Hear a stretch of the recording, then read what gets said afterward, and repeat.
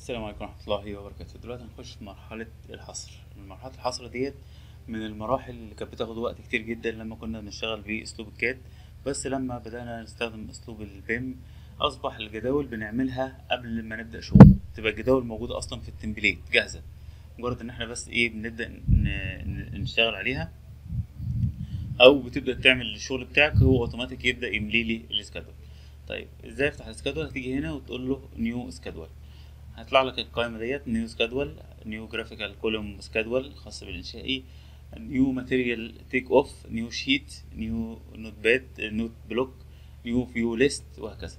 طيب خلينا نبدأ في ال schedule وإن شاء الله هنتكلم على الباقي بالتفصيل. أو من قائمة view هتيجي هنا وتقول له أنا عايز schedule فتطلع لك قائمة مشابهة للقائمة اللي فاتت. طيب أقول له أنا عايز schedule نبدأ نحصر إيه؟ نبدأ نحصر مثلا ال wall مثلا. طيب قبل ما نحصر wall خلينا نعمل select على أي wall. دي محطوطة على phase 1 يعني phase 1 ساعات بيبقى عاملين شغل على أكتر من phases فممكن تكون تحس شوية شغل على phase 1 في شغل على phase 2 وهكذا. ال phase والحاجات دي بتتحكم فيها من قائمة manage هتلاقي ال phases تقدر تقول له مثلا إن ال phase 3 دي لا خليها تدمجها مع اللي قبليها. ده فرض يعني إن أنت ما عندكش أصلا phases طيب أنا دمجت الاثنين دول بسهولة. لما تيجي تقول له previous هتلاقيه بياخد وقت لأن الشغل كله موجود في phase 1 تمام؟ فعشان كده هو بينقل الشغل كله من phase 1 للمرحلة اللي قبليها. عكس phase 3 و phase 2 ما كانش فيهم شغل. ليه الموضوع دوت؟ أنا اتكلمت فيه لأن ساعات تيجي تقول له اعمل حصر فيطلع لك فاضي. ليه؟ لأن أنت حاطط شغل على phase غير ال phase اللي هو بيحصره. طبعا existing دي لو في أي حاجة مبنية من قبل كده. طيب هو جاب لي رسالة أنا قلت له cancel لأن أنا مش مش عايز أدخل في متاهة هو بدا يدمج وبدأ يشوف إذا كان في مشكلة ولا لأ. أنا عايز إن إن يبقى هي phase 1 هي دي اللي إحنا شغالين فيها. هقول له okay. وأبدأ أقول له أنا عايز الحصر بتاعي view هدخل على ال schedule وأقول له schedule عايزين نحصر مثلا الحوائط فأقول له wall هيقول لي الجدول هيبقى اسمه wall schedule. تمام؟ طيب. اللي بعد كده بيقول لي انت عايز تعمل schedule building component تقريبا كل الشغل بتاعنا على ديت schedule key هنأجلها تمام؟ يعني هي ليها استخدام. ليها استخدام إيه؟ ان أنا بنظم الشغل بتاعي. فهنأجلها بعد شوية يعني. تمام؟ خلينا ناخد الحاجات الأساسية. ال phase phase 1 لو قلت له دي هتلاقي الشغل كله فاضي. هقول له okay. بيقول لي إيه الحاجات اللي عايزها ممكن تظهر معاك في ال schedule؟ دي كلها الحاجات اللي موجودة في ال wall. فممكن تيجي كده تقول له مثلا أنا عايز ال count عايز مثلا ال width عايز ال volume عايز ال type name. ال type mark من الحاجات المهمة جدا اللي بتنظم لي الشغل بتاعي. عايز top offset مثلا. عايز ال length. تمام؟ عايز ال fire rating. family and type. عايز مثلا تبدأ تشوف إيه الحاجات اللي عايزها. base offset. هل في عندنا level؟ بعض المشاريع بتبقى موجودة وبعض المشاريع ما بتبقاش موجودة. تمام؟ طيب. هنا بيقول لي include element in link. يعني لو أنا ساحب ملف link يبدأ يحصر لي الملفات اللي موجودة جواه. طيب select available ده ال wall ال structure material ممكن تاخد حاجة من دول تدوس عليها مرتين تظهر معاك هنا. تمام؟ في ال analytic في ال project information لو أنت عايز معلومة من ال project information تحطها هنا. طيب أنا مبدئيا هو كل اللي أنا عايزه موجود هنا في ال wall وهناخد. الحاجات اللي جاية ديت الفلتر وال sorting والقوائم ديت بعد شوية. تمام؟ هقول له okay هيبدأ يعمل لي الجدول بالشكل دوت. زي ما إحنا شايفين ال type mark مفيش أي معلومة. المفروض أنت اللي بتحط المعلومات. في ال fire rating تبدأ تقول له مثلا دي ساعة دي ساعتين مثلا. آه. بيقول لي إيه؟ أنت لما غيرت هنا هتغير كل ال type. يعني أنت المفروض إن ال fire rating دي معلومة موجودة في ال type مش instance يعني موجودة في ال edit type مش موجودة في ال instance فلما هنغيرها هتغير في كل. فبقول له okay. فبيبدأ يشوف كل الحوائط اللي متشابهة ويبدأ يديها نفس الحاجة. طيب دي حتة مختلفة. اهي تمام. عدد الحوائط في المشروع ده مش كتير. تمام ممكن تقول مثلا خليها اتنين مثلا.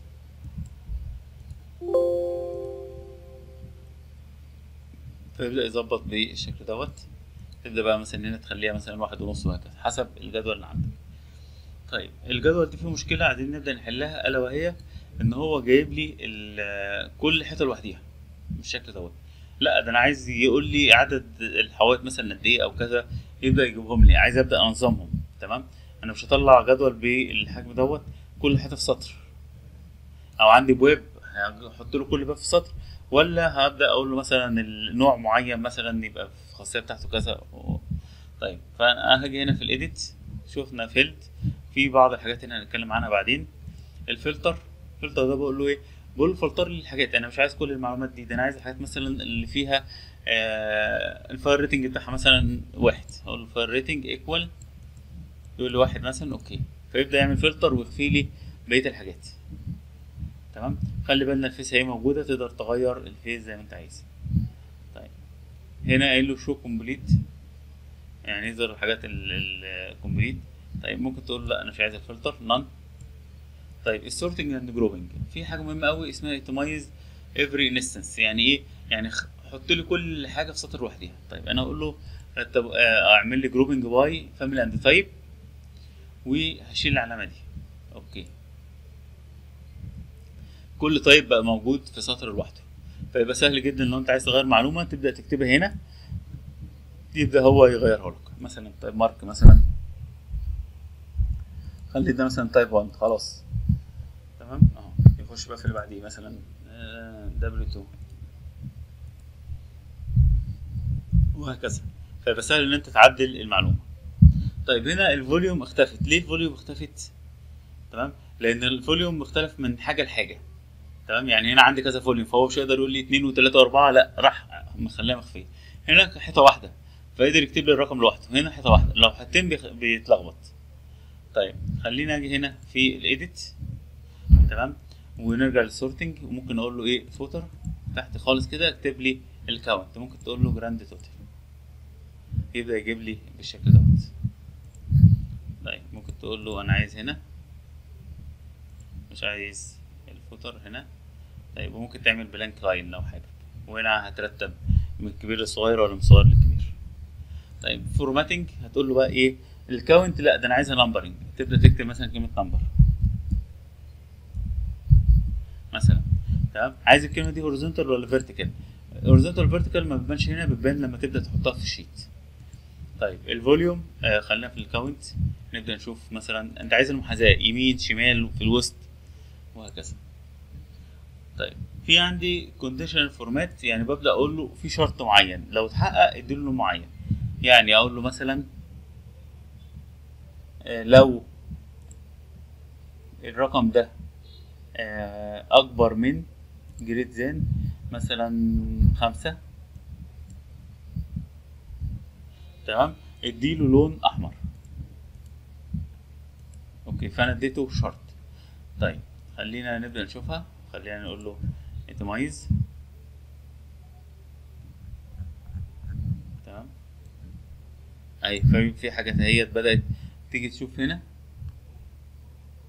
تلاقي الرقم ده أكتر من خمسة اللي هو دوت 11 العشرة السبعة السبعة التسعة. فبدأ يديله لون أحمر.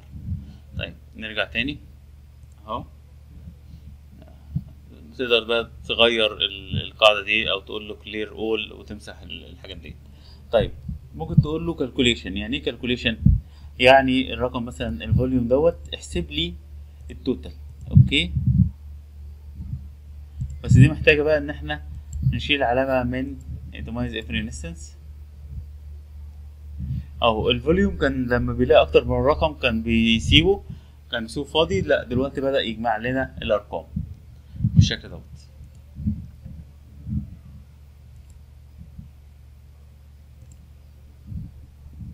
طيب. لو إحنا دخلنا في ال volume هتلاقي ال field format اتفتحت معايا.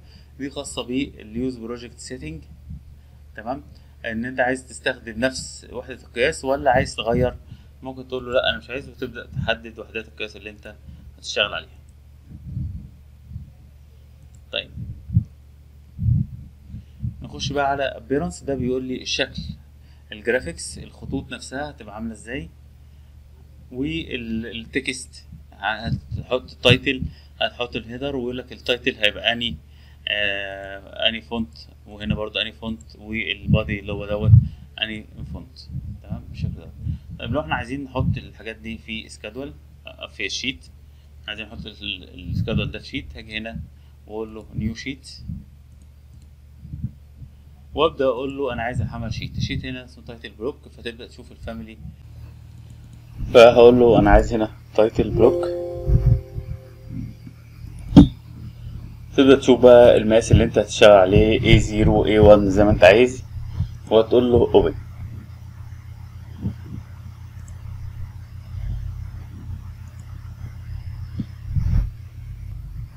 دلوقتي تقدر تسحب أي لوحة مثلا اللوحة دي تقدر تسحبها وتحطها في قلب ال sheet بالشكل دوت. طيب لما حطيناها في شغل كتير جدا عايزين نبدأ نلغي بعض الحاجات عشان تبقى اللوحة أو ال view نقدر نحطه جوه ال sheet طيب هدوس مرتين عشان أدخل أو أدوس على أكتف فيو عشان أقدر أدخل جوه. طيب في ال- الظلال والشمس والحاجات دي كلها. طيب هقول له عايزين نوقف الحاجات ديت. إلا لو أنت عايز زرار شغالها مفيش مشكلة. طيب عايزين بس إيه؟ الحاجات اللي بره اللوحة نستغنى عنها فممكن تقول له إيه أنا عايز آه نشوف فين ال crop view.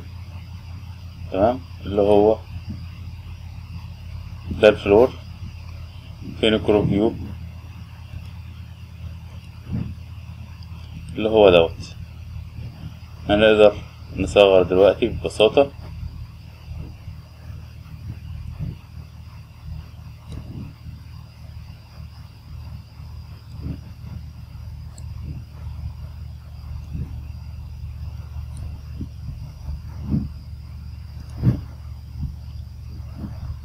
فعلت ال annotation crop عشان يشيل الحاجات اللي هي بره اللوحة. أهوت.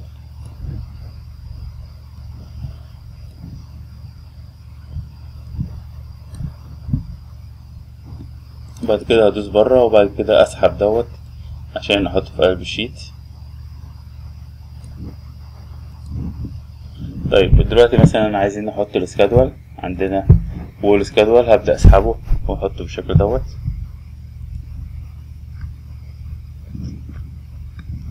اهي دي زي ما انت شايف محطوطة اهي آه، رأسي زي ما إحنا عملناها. تقدر من المقابض دي تبدأ تسحب. دي يخليك تقسم جدول لنصين بالشكل دوت ولو عايز ترجعهم هتسحب ده كده وترجعه هنا. يبدأ يشوفوا آه، الجدول حتة واحدة. عايز ادخل الجدول تاني همسك كده وأروح دايس مرتين عشان أقدر ادخل جوه الجدول. طيب لو انت دوست هنا وعايز تعرف مكانها فين هتقول له highlight in model هيبدأ يعمل لك zoom عليها في قلب المشروع بتاعك.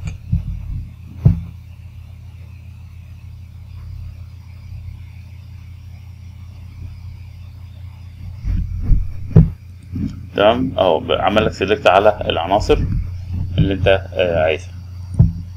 طيب خلينا نرجع لل wall schedule خلينا ناخد مثلا حوالي واحد. highlight in model هيبدأ يعمل لك zoom عليه. وتقدر تقول له show تاني بحيث يورولك في مكان تاني وهكذا. بيقول لك أفتح view جديد. فأقول له ماشي مفيش مشكلة. المهم إن هو قدر يعمل select على الحائط. نرجع لل wall schedule بالشكل دوت. هتلاقي إن أنت تقدر تعمل calculated و combine parameter هنشوف معناهم دلوقتي. تقدر تعمل insert ل column تقدر تختار بقى الحاجة اللي أنت عايز آه، تضيفها. تمام؟ مثلا عايز تزود ال cost بالشكل دوت. يبدأ يضيف لك cost تقدر تعمل delete ل column. كل حاجة خاصة بال column تقدر تعمل resize تقدر تعمل hide إخفاء. يعني هو موجود بس مخفي ممكن تقول له unhide all فيبدأ يظهرهم لك آه، كلهم. تقدر تجمد ال header لو أنت حابب. تقدر تعمل shaded بشكل معين. تمام؟ اهو عايزين نشوف إيه هي calculated و combine parameter هدخل هنا. أول واحدة وأقول له أنا عايز أضيف parameter جديد فيبدأ يديني إن أنا أختار. لا اما project parameter وده بيظهر فيه ال schedule بس ما بيظهرش في ال tag ات. ال shared parameter ده بيبقى ملف text فاضي خالص بره المشروع ال Revit واسمه shared parameter لأن أنت تقدر تشتغل عليه في كل المشاريع بتاعتك. يبقى هو واحد بس للشركة وكل الناس شغالة عليه. تمام؟ ده هيشتغل في أكتر من مشروع.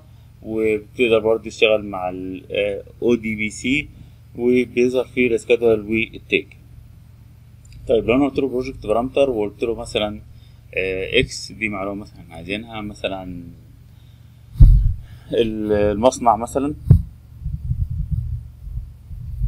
تمام؟ هتكتب له بقى نوع ال- الحاجة دي هل هي حسب تكييف structure common عبارة عن text تمام؟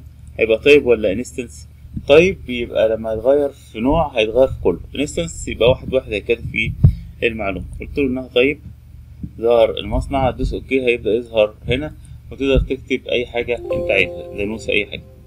طيب لو أنا جيت هنا ودخلت تاني وشفت بقى اللي بعديه calculate parameter calculate parameter بتبدأ بقى تحسب الحاجة اللي أنت عايزها. فأول حاجة بتحددها اسم الحاجة اللي أنت عايزها وليكن مثلا نحسب حاجة خاصة بال volume مثلا. مثلا في ضرائب هتفرض على حاجة فبيقول لك 20% 1% على المساحة. عايزين نشوف المساحة المفروض تبقى خضرا قد إيه. أي حاجة أنت عايز تحسبها تمام؟ ال volume أو ال area أو أي حاجة أقول له في طبعا ده جدول حوائط فمثلا هتحسب تشطيبات مثلا تمام؟ هتقول له مثلا تشطيبات هتقول له دي مثلا عبارة عن آه ال area مثلا تمام؟ إحنا عندنا هنا ال area ولا ضفناها ولا ضفناش وليكن مثلا ال volume تمام؟ هتقول له مثلا إحنا عايزين نحسب ال volume في واحد point اتنين. يبقى هو أوتوماتيك أول ما يلاقي ال volume يضربه في واحد point اتنين. OK؟ آه. هيبدأ يشوف ال volume ويضربه في واحد point اتنين. طيب ليه ما ضربهمش كلهم؟ هو ضرب الحاجات اللي هي رقم واحد. لما بيلاقي أكتر من رقم بيسكت. يبقى أنا هاجي هنا وأقول له الفي ديت أنا عايزك تحسب لي ال total طبعا أنت ممكن تحسب ال total ممكن تحسب أقل رقم. ممكن تحسب الأكبر رقم ممكن تقول له احسب لي ال- minimum وال maximum زي ما انت عايز. بعد كده هنروح لل combined parameter وده بسيط إن أنت بتضيف أكتر من حاجة مع بعض مثلا ال area مع ال count مع مع مع على أساس ساعات مثلا بيبقى اسم الباب بيتكون من أكتر من حاجة فأنت عايز تكتبهم كلهم فتقول له مثلا خد ال mark مع ال... مع اسم الموديل مع ال ال tag comment لو في comment مكتوب. ساعات بيبقى اسم الباب بيتكون من مقاطع من أجزاء. فأنت بتبدأ تحط مثلا الحاجات اللي أنت عايز تكون الاسم منها. بيقول لك أنت عايز تفصل بينهم بإيه وكلمة قبليها وكلمة بعديها. وهسمي ال parameter ده إيه؟ تمام؟ طيب هديله مثلا. آه ال mark. هدي مثلا موديل هدي ال type. ال volume ال width OK OK ما اعترضتش راح خد الاسم وكتبه بالشكل ده دلوقتي بقى هنشوف مثلا نعمل جدول تاني. schedule new schedule وهنزل هنا بقى أشوف. مثلا خلينا نشوف ال room. هي ال schedule نفس الفكرة. فلما انت عملت schedule هتلاقي كله زي بعض. هقول له okay بيقول لي إيه اللي أنت عايز تشوفه؟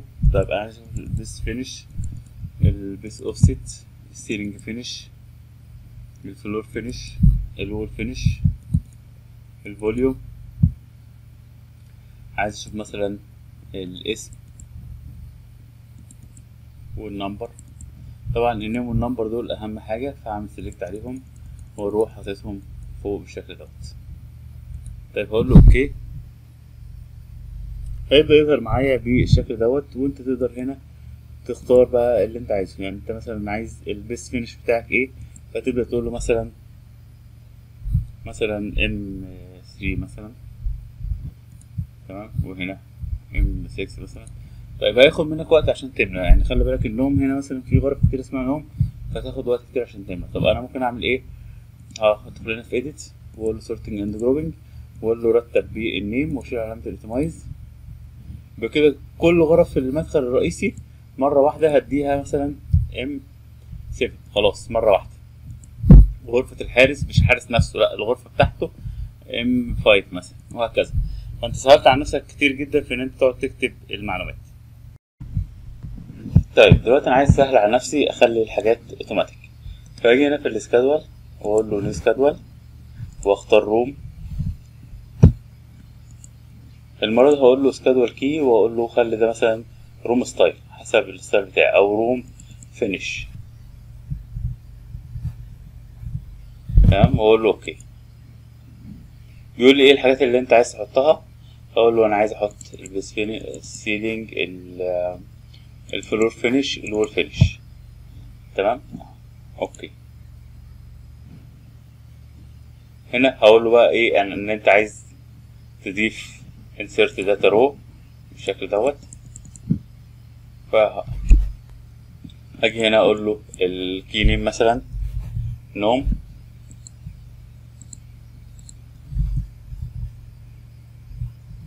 تمام؟ ده ال base finish بتاعه مثلا آه مثلا خشب مثلا. ده ال ceiling بتاعه gypsum board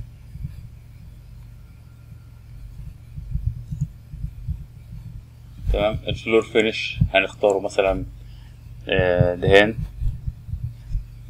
ال wall finish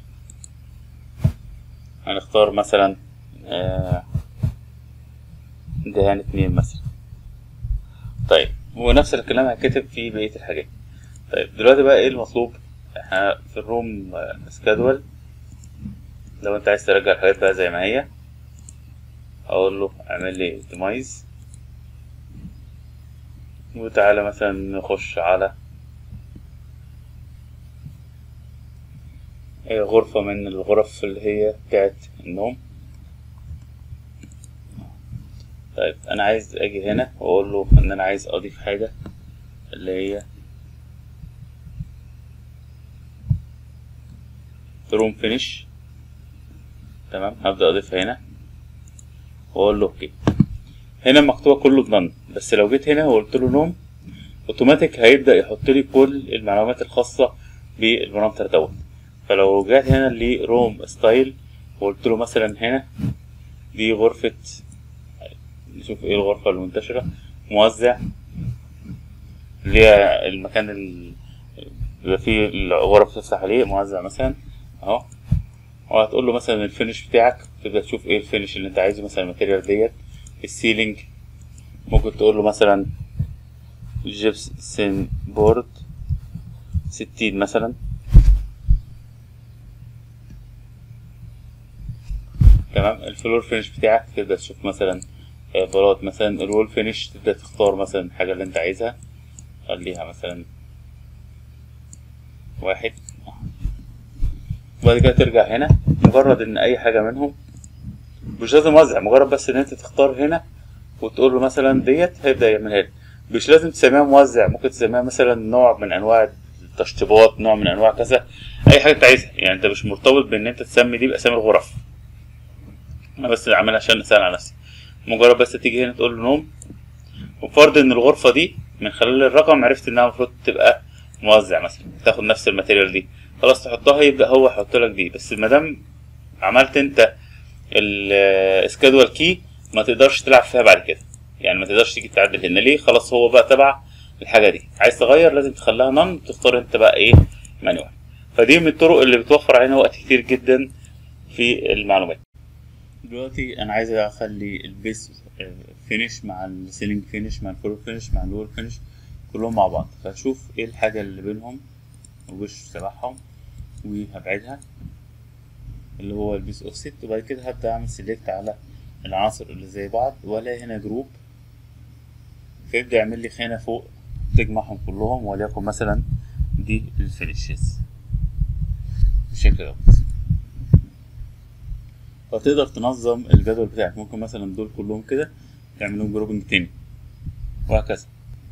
طيب دلوقتي بقى نرجع لل schedule هنا ونقول له new graphical column schedule ده بيعمل لي جدول إنشائي مش الغرض منه العد وإنما إن أنت تعرف مثلا إن العمود ده مكمل لحد فين وأشكال للاعمده اللي موجودة في المشروع طيب ده خاص بإنشائي فمش هنتعمق فيه بس هو بيبقى ممتاز جدا إن أنت تشوف الأعمدة بتاعتك وإيه الأعمدة اللي ظهرت مثلا من دور ال ground وإيه الحاجات اللي مش مكملة وهكذا. طيب هقول دلوقتي material takeoff ده حصر لل material هتقول له مثلا عايز ال material بتاعت ال wall وتبدأ تختار إيه الحاجة اللي أنت عايزها. طبعا أنت مركز على ال material هنا فتبدأ تختار كل ال material اللي تحطها وتقول له okay. فيبدأ يجيب لك كل الأعمدة اللي موجودة هي طبعا عزلة التشطيبات وهكذا. كل المعلومات اللي أنت محتاجها في ال material. طبعا القوائم دي كلها شرحناها قبل كده فمش محتاج إن إحنا نعيد ونزيد. طيب بعد كده هتلاقي ال sheet list لو انت عايز sheet list باللوحات اللي موجودة عندك في المشروع. هتبدأ تطلع مثلا الأساسي معاك sheet name والتاريخ بتاعها وال sheet number وممكن تحط بقى المصمم وال design وال... وهكذا. شوف إيه الخانات اللي انت عايز تظهرها فيبدأ يعمل لك جدول بالشيتات لو انت عايز جدول بال views هتختاره تقدر برضه تعمل فلتر بحيث إن انت تشيل الحاجات اللي انت مش عايزها. فيبدأ يعمل لك جدول بكل الفيوهات وسهل جدا إن أنت تيجي هنا وتعدل المعلومة اللي أنت عايزها. حتى في ال sheet مثلا تقدر على طول تغير رقم و فده بيبقى أسرع إن أنت تغير آه sheet sheet وتفتح sheet sheet. تمام؟ ال browser organization بيبدأ ينظم لك اللوح لو أنت حابب. مثلا هسميها مثلا آه schedule تقدر تقول له بقى أنا عايز اعمل مثلا grouping من خلال مثلا ال category من خلال ال phase وهكذا. ممكن تقول مثلا أنا عايز اعمل فلتر وهكذا. فيبدأ هو يقسمهم لك زي ما انت شايف. طيب بعد ما خلصنا حصر تمام تقدر تختار الجدول اللي انت عايزه. وليكن مثلا ال room schedule وهتيجي هنا. تقول له اعمل لي export report schedule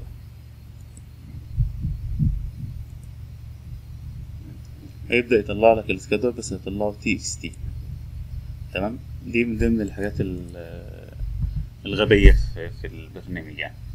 تمام؟ وما بيطلعهمش آه ما بيطلعهمش آه كلهم مرة واحدة لازم جدول جدول. دلوقتي هقول له افتح لي ال Excel